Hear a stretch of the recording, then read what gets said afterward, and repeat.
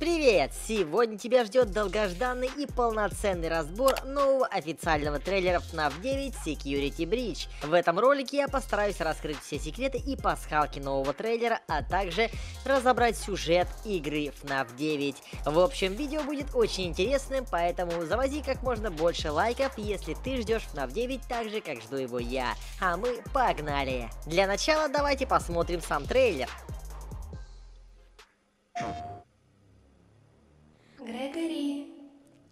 Друзья беспокоятся о тебе. Они здесь, со мной. Пожалуйста, выходи. Так, я уже кое-что заметил. Грегори, Возможно, я вышла из себя. Сейчас, друзья, покажут Это нового аниматроника. глич. Вот он Это сверху. не повторится. Ползет. Круто. Это был очень тяжелый день для всех. Этот кадр мне очень нравится. тебе не выйти? Я тут заметил много всего интересного, и мы подробнее об этом поговорим. Это больше не А вот и статуя Глэм Рок Фредди из золота. Офигенно просто.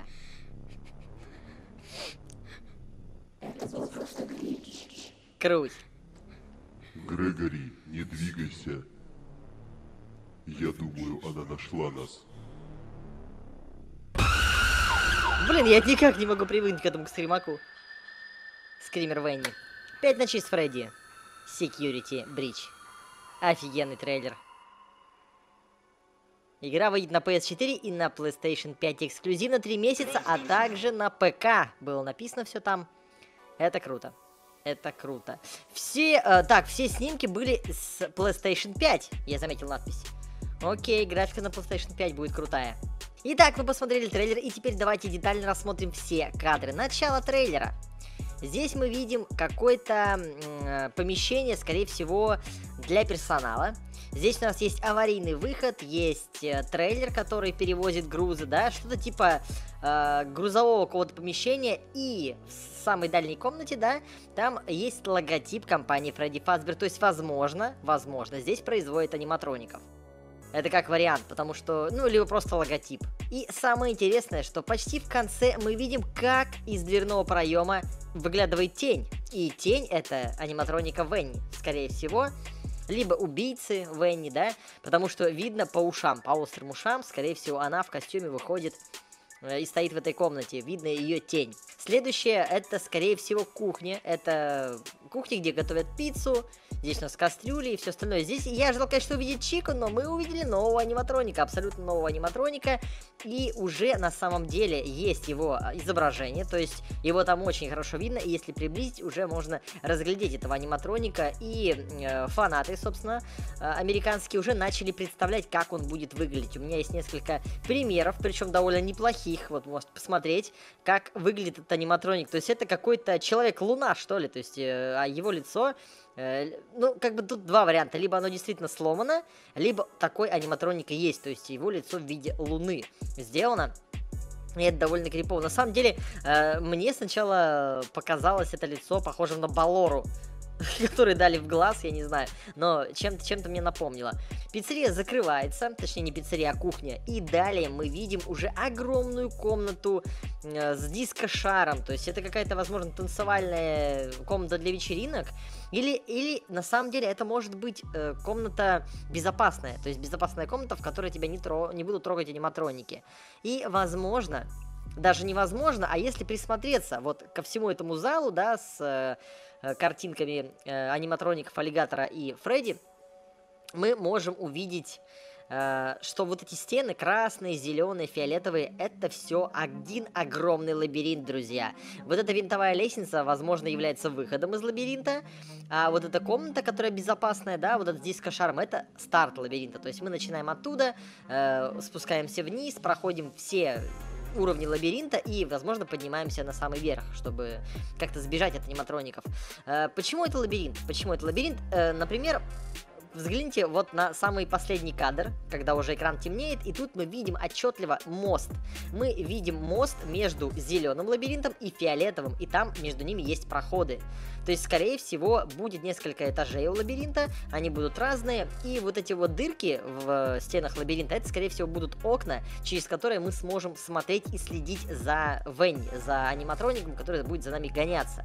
Возможно, Венни будет не одна, возможно, у нее будут какие-то прихвостни, аниматроники, какие-то зомби-аниматроники, которых она будет, значит, себе привлекать и как-то охотиться за нами тоже. То есть, сто процентов в игре мы будем ходить. То есть это уже не будет как в FNAF VR Help Wanted, где мы просто, получается, могли двигаться, оборачиваться, осматриваться. И, как нам сказали разработчики, это будет не VR-игра. Возможно, в ней будет какой-то VR-режим, но по сути это игра не VR, это полноценный FNAF, э, который без очков виртуальной реальности можно будет играть и на ПК, и на PS4, и на PlayStation 5. Соответственно, на Xbox она выйдет только через 3 месяца. То есть, если у вас есть PlayStation, то вам крупно повезло. Как и тем, у кого есть ПК. То есть, очень круто. Ну, в общем-то, такой будет геймплей и лабиринт. Я на самом деле не люблю, не люблю лабиринты, но это, возможно, будет что-то в стиле как был лабиринт, по-моему, в хэллоуинском обновлении, где мы от Фокси горящего убегали, возможно, что-то в этом стиле будет. Но намного лучше, я уверен, потому что все-таки это новая игра. В общем, с лабиринтом мы все поняли. И далее у нас идет кадр главного, главного помещения, да, возможно, это будет тот самый зал, который, скорее всего, и будет являться безопасным. И в этом зале мы как раз-таки будем выбирать уровни. То есть, э, как было в Help Wanted, мы стояли в, в пиццерии, да, и на мониторе могли выбирать уровни. Здесь, наверное, мы будем уже подходить к разным дверям, к разным входам, и там попадать в различные уровни. То есть, будет уровень на первом этаже, на втором этаже, и, возможно, на третьем, и, возможно, в подвале, как-то так. Ну и, собственно, все, что нам показали, это несколько кадров из э, игровых локаций.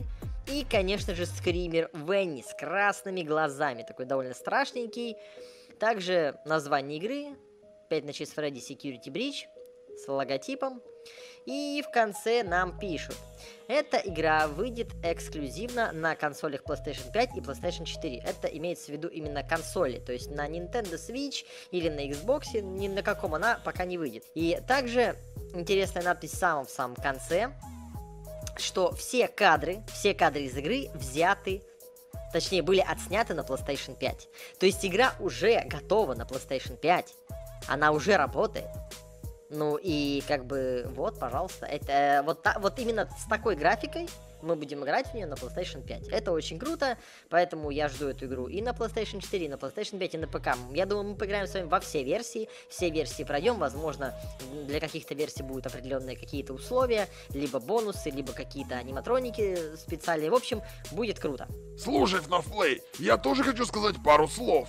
Лично я думаю, что когда ты рассказывал про момент с лабиринтом, то там будет немножко все по-другому. Да, там будет аниматроника, можно будет подглядывать за ним, но я думаю, что игрок будет не один. То есть в игре, возможно, добавят мультиплеер. Это будет как в Dead by Daylight, где четыре выживших борются против одного убийцы. В нашем случае будет четыре школьника, которые будут убегать от Венни, которая будет их ловить.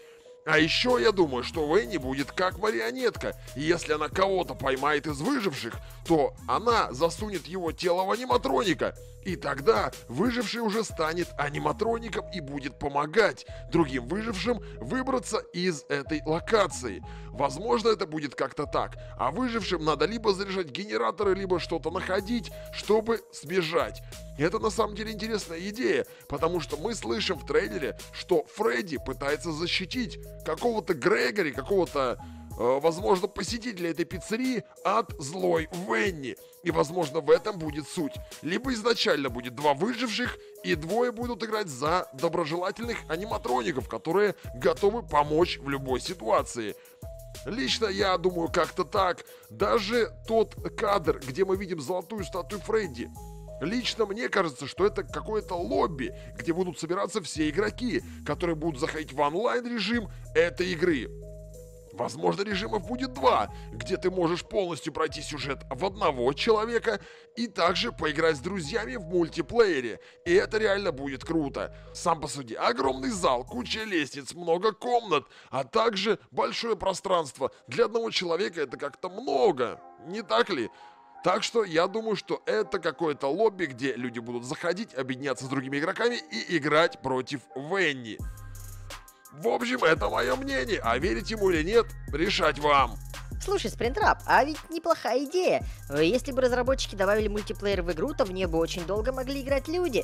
Эм, разработчики могли бы добавлять новые скины, там новых э, персонажей и какие-то новые умения и способности. Это было бы реально круто. А ведь это можно проверить. Если мы зайдем на сайт разработчиков и зайдем в раздел игры, то мы можем посмотреть, какие игры раньше делали разработчики. И если у них есть мультиплеерные проекты, то, возможно, они добавят мультиплеер в игру. Давайте проверим. У них тут немного игр, и все мы их можем посмотреть. Итак, открываем список игр разработчиков и давайте же узнаем, есть ли у них мультиплеерные проекты. Первая их игра выходила даже на мобилках, но давайте посмотрим, что это такое. Итак, игра выходила еще в 2014 году, довольно давно, она для одного игрока, и мультиплеера здесь нет. Что ж, ладно. Пока что этот вариант нам не подходит. Вторая их игра, она была выпущена в 2016 году, и здесь тоже нет мультиплеера. Игра, кстати, была сделана для VR уже. Окей, хорошо. Вариант отпадает. Следующая игра. Что-то космическое. Ну, давайте посмотрим. Тоже для VR, 16 год. И тоже никакого мультиплеера. Слушай, Спринтрап, наверное, ошибся. Это было бы фигово. Я так надеялся. Ладно, следующая игра, возможно, все-таки есть шанс. Следующая игра была выпущена также в 2016 году, целых три игры, вот это да. Тоже для VR, друзья, и опять же для одного игрока. Шансов все меньше и меньше, осталось две игры, и надеюсь, нам повезет, друзья. Итак, следующая игра, битва за Оазис. Итак, заходим в Steam. И что мы видим, друзья? 18 год. И, о чудо, против игроков по сети. Это мультиплеерный проект. Это полноценная VR-игра, в которой есть мультиплеер, друзья. То есть люди собираются вместе, играют друг против друга, стреляются, а почему бы нет? То есть разработчики умеют писать мультиплеерный код, они могут сделать сервер, и в принципе это круто, это круто, и это новая их игра. Ну, относительно, да? Так, ну и посмотрим последнюю. Мгм, последняя их игра. После, перед FNAF 2020 год. Интересно. И тоже, друзья, мультиплеер и еще и кроссплатформенный. Я, чтобы вы понимали, кроссплатформенный это когда можно играть в мультиплеере не только на ПК, но и на PS4. То есть ты, если, допустим, у твоего друга PS4 или PS5, а у тебя ПК, то вы сможете с ним поиграть по сети. Так, ну все, все, слушайте, а это, это, это же офигенно! То есть, если разработчики выпустили в 2020 году эту игру, и получается, что выходит э, FNAF новый, и, возможно, разработчики все-таки допили туда мультиплеер, еще и кросс-платформенный. Это будет очень круто, друзья. Слушайте, а шансы высоки. 90% шанс, что будет мультиплеер, ребят. Я, конечно, не утверждаю, потому что я могу ошибиться, но по всем параметрам разработчики могут сделать мультиплеер. И если первый FNAF, как мы видим, да, э, первый Help Wanted, а также DLC, оно было без мультиплеера, то, возможно, FNAF Security Breach будет иметь мультиплеер. И это будет реально круто. И респект полный разрабам, потому что они умеют и могут сделать мультиплеерную хорошую игру. Также меня удивил еще один интересный факт.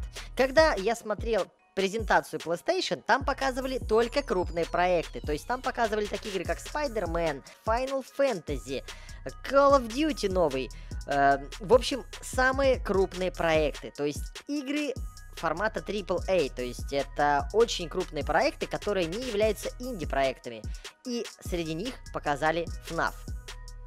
FNAF Security Breach. Вы только представьте, друзья, эта игра будет формата AAA. И если там не будет мультиплеера, то это полный бред. Потому что давайте посмотрим. Ну, в Спайдермене вряд ли будет мультиплеер. Final Fantasy, по-моему, есть мультиплеер. А, взять Call of Duty, да в любой Call of Duty есть мультиплеер. Но там были и другие игры, просто надо вспоминать. Но, в общем, там не было ни одной инди-игры. И FNAF, значит, она уже не инди-игра, то есть FNAF э, Security Breach это полноценный проект, который, кстати, будет стоить на минуточку 4000 рублей на PS4. На PS5, возможно, дороже, потому что где-то кто-то спалил ценник, я сейчас скриншот не покажу вам, но он точно был.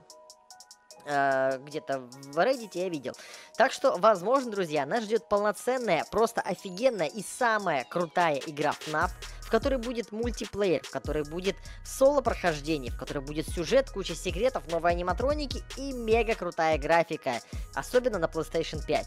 В общем, мы со Спринтрапом выразили свое мнение по поводу нового трейлера и разобрали его по полочкам. Насчет мультиплеера пока, конечно, неизвестно, но лично я уверен, что игра будет просто мега крутая. Поэтому будем ждать ее выхода и надеюсь, она выйдет уже очень скоро. Скорее всего, на старте продаж PlayStation 5, а возможно и раньше. Поэтому, друзья, будем ждать и ставить как можно больше лайков, чтобы игра поскорее вышла в свет. И я надеюсь, что там будет мультиплеер, где я смогу поиграть вместе с тобой во FNAF 9 Security Breach. Ну а сейчас всем удачи и всем пока!